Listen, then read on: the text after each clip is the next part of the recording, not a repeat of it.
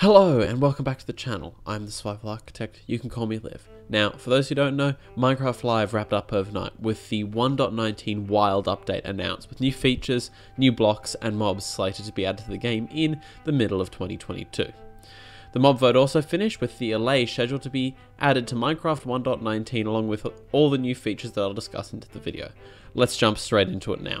1.19 is the Wild update with changes coming to the swamp and further changes to caves announced last night during Minecraft Live. First up, the swamp. It's getting an entire overhaul. An entirely new biome called the Mangrove Swamp has been announced for the update. It's a variation of the traditional swamp with a new wood type, the mangrove wood. Uh, considering what mangroves are in the real world, it follows that they will probably be found along the coastlines or in low-lying areas around swamps. It could also be a denser swamp that is found in the middle of a larger swamp biome, or it might just be another biome that generates like everything else in Minecraft. Personally, this is a fantastic choice in my opinion for the update. Um, swamps were added way back in alpha version 1.2.0 and since then they've had you know some some minor changes like uh, the water and grass color has changed over time. There were sub biomes like the swamp hills that were added and then removed. Um, mob spawning rules such as slimes and uh, and drowned have changed over time, and the addition of witch huts and fossils has occurred in that time too.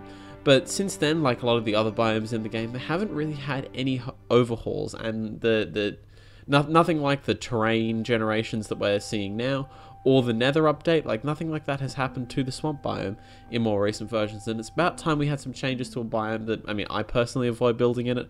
Most people avoid building in it. So it'll be, definitely be fun to get a new swamp, an overhaul, really good looking swamp. And uh, it'll be fun to try and build with new palettes and mesh buildings or just a full on base into the new swamps. Just as a bit of a side note, it also looks like the developers are trying to change the ambiance of some biomes. So they talk about this in terms of the birch forest with some uh, concept art that I've put on screen now.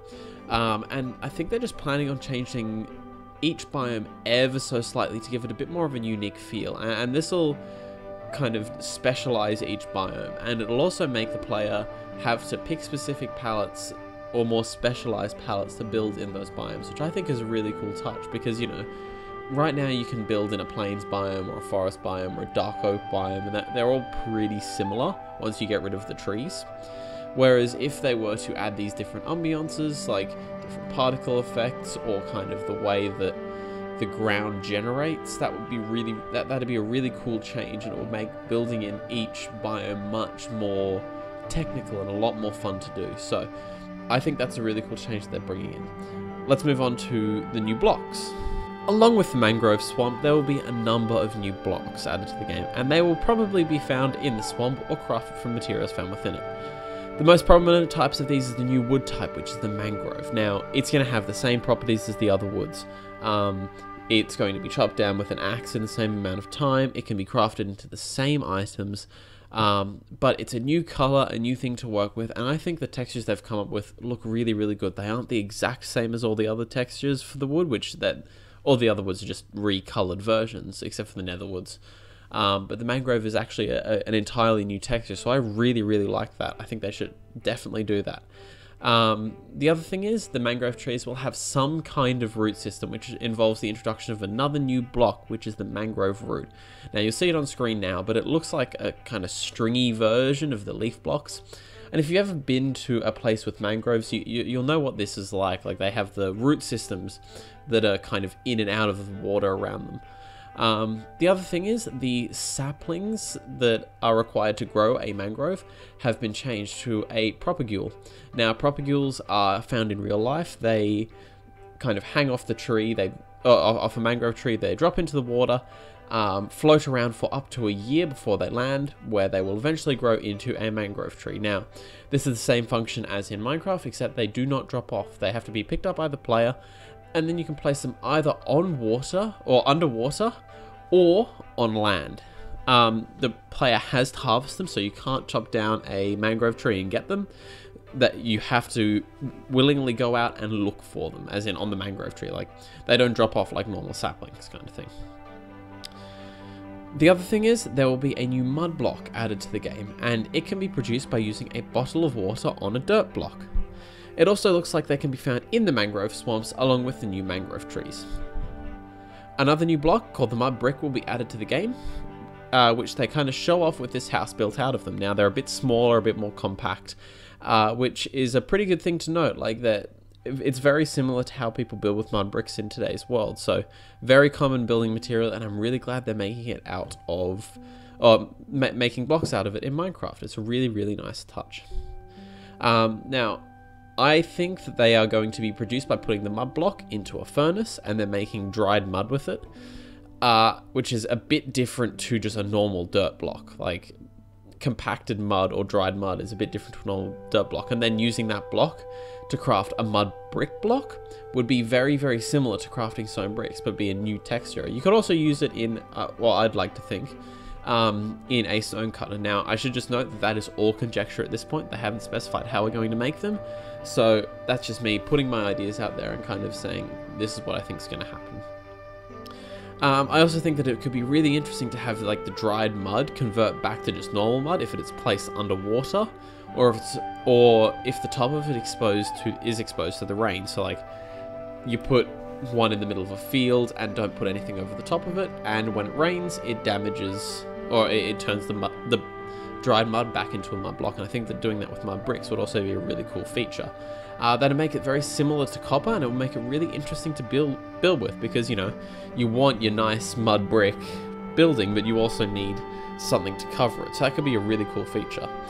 Now the other feature of mud is that it can be used to produce renewable clay finally so to do this you place a mud block on top of a dripstone block and then have like the pointed dripstone off the bottom similar to water or lava production and that will change the mud block into a clay block over time. So this could be definitely done with some sort of redstone system and piston feed tapes, and then that would produce a renewable source of clay for the player.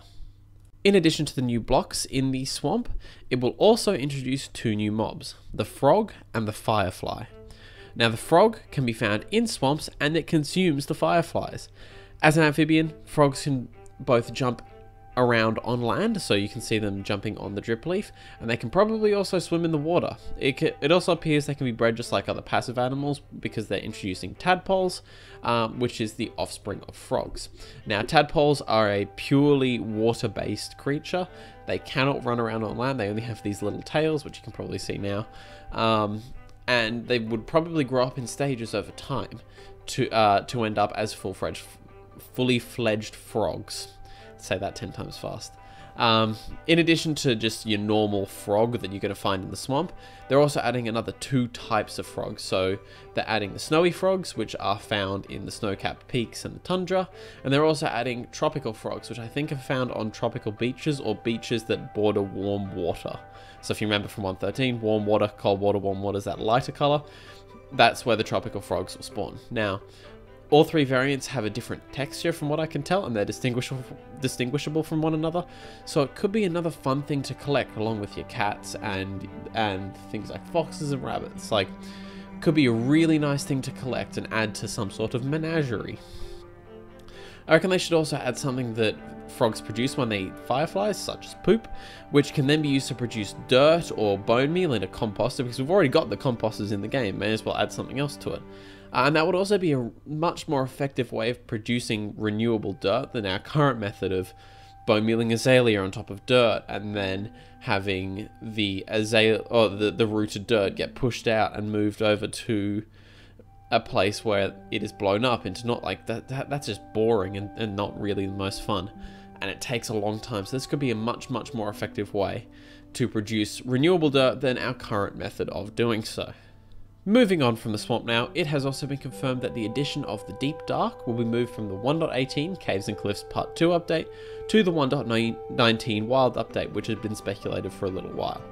Uh, I'd assume this has something to do with doing the idea a lot of justice and really flesh out the concepts with exist uh, with exciting and bug-free features which you know that's something that we need in minecraft like i'd rather have a really fleshed out and really cool idea that is really, really well done and just takes a little bit longer than something that's kind of half baked and not really, you know, that great. Um, and you know they, have definitely made the right decision in this. Uh, I, I would much rather have it perfect than, you know, just come out as a half-baked idea. So, really glad that's been moved to 119 so they can work on it a bit more. And yeah, definitely, definitely, definitely the right move. Um, now, we we already know what the Sculk sensor is, and the Warden Mob, and the existence of the biome, so I won't cover that in this video. However, 119 will introduce an entire Sculk family within the Deep Dark and an entirely new structure to the game, which is something that has been missing for a really, really long time. The Sculk family of blocks will include the previously known Sculk sensor, the Sculk Shrieker, the Sculk Catalyst, and what appears to be kind of some sort of Sculk block and Sculk vines, or vine similar things. The most prominent of these is the Sculk Catalyst, which produces a new, uh, which produces the Sculk sensor, the Sculk block, or the vine whenever a mob is killed by the player in some sort of unspecified radius around it. The Sculk Shrieker is another block that is activated by the Sculk sensor when a player or mob walks past it and produces this sound. It also applies a new darkness effect to the player, which appears to be similar to blindness, although I would assume that it has its own properties, uh, kind of different to blind. Like it has that pulsing effect that you might be able to see, uh, and you can't see anything when it's at full blackness, not even your inventory. So I think that's a really, really cool, uh, a really cool effect that we could add to the game.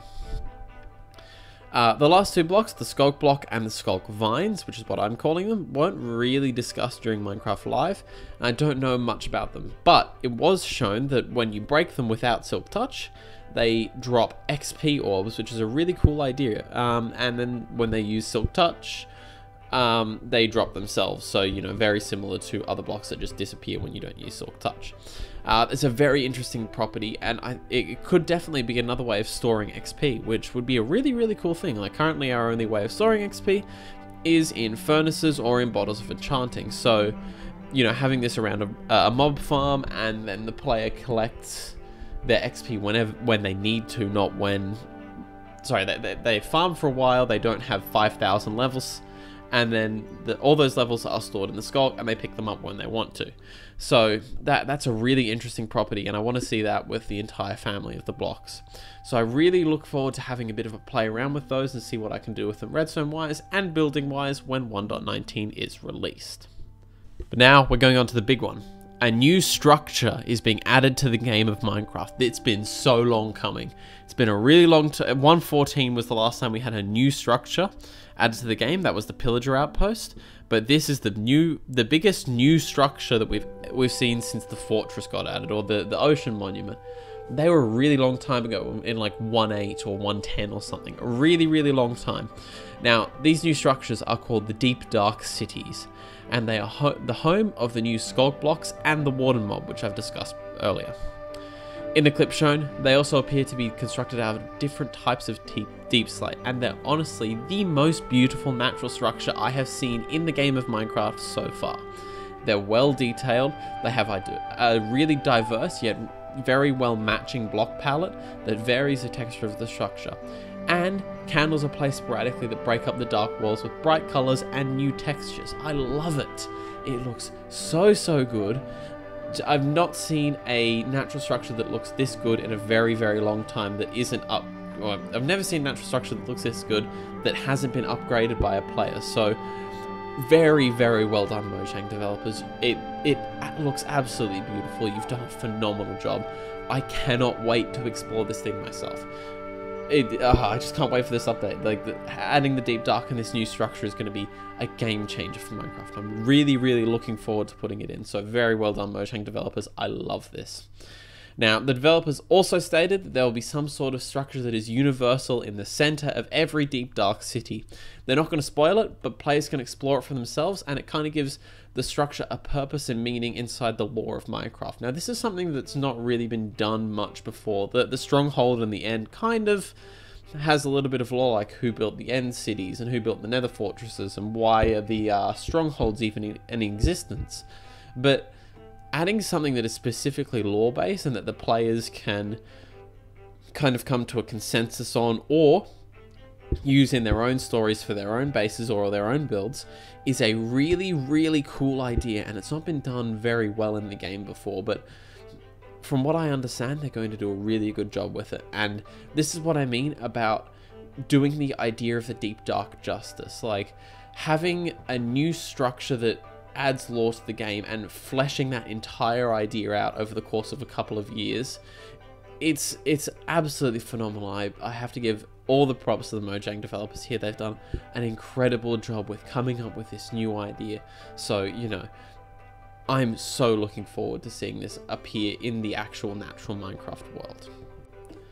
So, that's all of the 1.19 update announcements that we know about.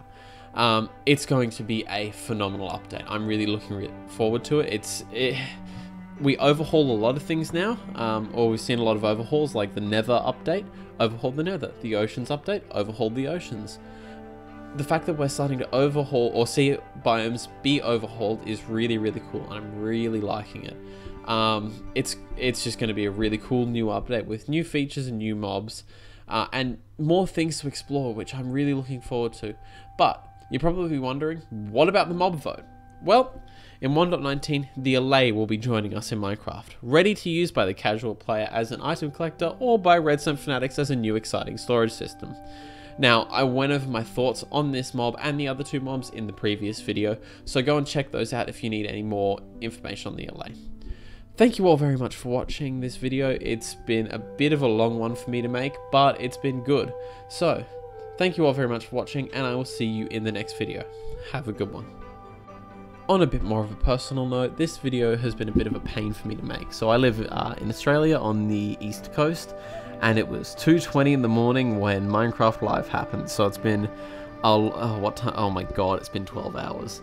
Um, it's been a long one for me to make, and it, I haven't even edited it yet because I've been, doing uni work, so I have exams in like two weeks. So yeah, sorry, sorry that this is so late compared to the other the other YouTubers that are out there. Um, but I I, need, I have other stuff that I need to do.